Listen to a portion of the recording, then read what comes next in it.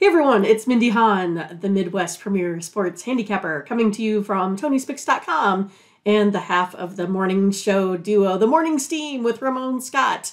Uh, but hope you enjoy this free pick video from our show. Uh, be sure to click in the link in the description for our best bets. Now, here is the pick. Okay, Hawks and the Magic here. Uh, right now, the Hawks are a two and a half point favorite, 226. This one hasn't moved uh, too much uh, in this one, but I did show uh, uh, some lines overnight as low as 222 and a half, but this isn't generally widely reported steam. But man, that number is getting a little high on the total. Uh, yeah, I mean, I still kind of, uh, you know, maybe take a little bit to the to the over. I mean, I don't want to give you know any uh, additional plays away, but yeah, it's one of those weird uh, weird totals here for me tonight. So I don't really want to you know touch that. I have it just basically a basket, so it's been it's basically right on here for me. But uh, if I take a look at the Hawks here, and you know if I take a look at their rolling average here over the last three to five games, putting up 113 points, uh, Magic 108. Hawks ranked fourth in uh, uh, in uh, turnovers here, so they really take care of the ball. Well, if I take a look at this Magic team, they tend to be really sloppy sometimes. Uh, they give up the ball on average 15 times a game. Hawks eight and one against the spread versus the Magic over the last nine. I'll be taking the Hawks today. All right, Mindy is going to be on the Hawks here, lay two and a half points against Orlando.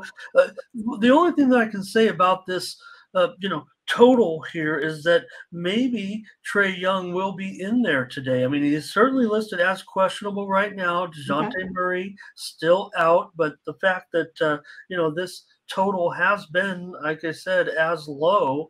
I just want to confirm I didn't get that wrong, but uh, you know I did show uh, as low as 222 and a half uh, here, so it hasn't necessarily been steamed uh, uh, that I can tell. I mean, it's you know uh, something that's a, a speculative, most for the most part. I mean, I do have the uh, odd screens up, you know, it, it, sounds off and everything, but maybe Young is going to be playing in this one. So Scotch says Atlanta on the road scares me, but he will be with you uh, in this spot.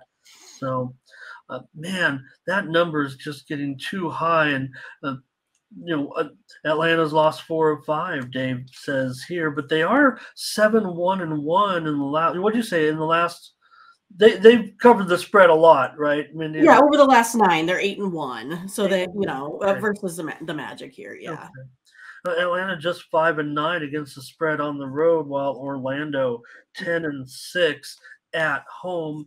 Uh, look, I think I understand that it's going to be a high scoring game, but I'm just not confident of it right now unless uh, you know unless we know about Trae Young. I mean, to me, so I'm going to end up going under in this one. I think that one, I think it's just gone up a little bit too high for my liking, and I'm going to take under in Atlanta and Orlando. Crush is going to be on the Magic here in this one, going against you there a little bit, but Fonzie yes. has a play here. He says uh, Hawks, and he's going to uh, juice the spread. Not sure what that means, but I think he's going to take some more points. Uh, oh, that's, that's He's going to take some points, right? Go to the alternate universe. So yeah, maybe get some points. Lay more perhaps. points and get some plus money, maybe. That's our guy Fonzie.